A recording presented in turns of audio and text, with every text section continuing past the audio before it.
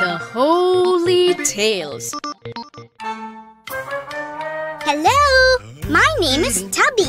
I live here in this wonderful library and I love to eat books. I live here with my friends Gumbo and Freckles. Gumbo, Freckles, come out, come out, wherever you are. Over there, on that great book, is Grand Old Holy. She is really old and wise and tells us wonderful stories when she is awake, that is. Oh, and we love to sing. Wise man built his house upon a rock. The wise man built his house upon a rock. The wise man built his house upon a rock. And the rains came tumbling down. Hello, children. I see you are back again.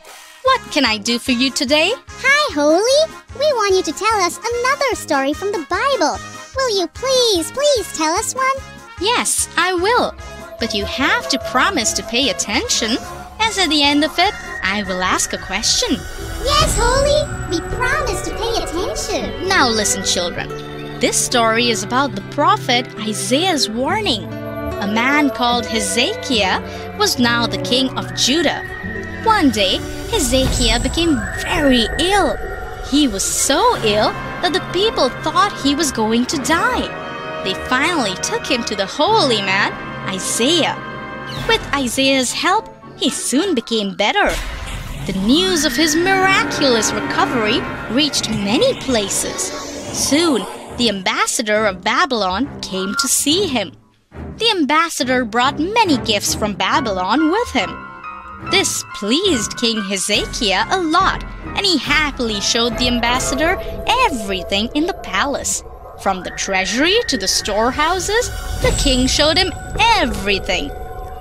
That evening, when Isaiah came to Hezekiah, he asked him what Hezekiah had shown the ambassador from Babylon.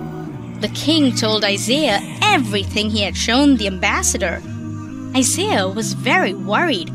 He warned him, saying, There will be a day when everything from your palace will be taken away to Babylon. Even your own sons will not be spared. But Hezekiah did not pay any attention to Isaiah's warning. He just wanted to enjoy peace in his own lifetime.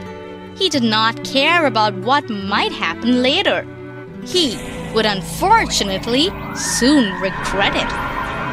I hope you were listening carefully, children, because I will ask a question now. The ambassador of which country came to meet King Hezekiah? I know I can answer this. The ambassador from Babylon. Correct? Yes, that is right, Gumbo. You have started paying attention. That makes me very happy. Now, children, go on and play. See you tomorrow. Bye-bye. Bye, Holly. Bye,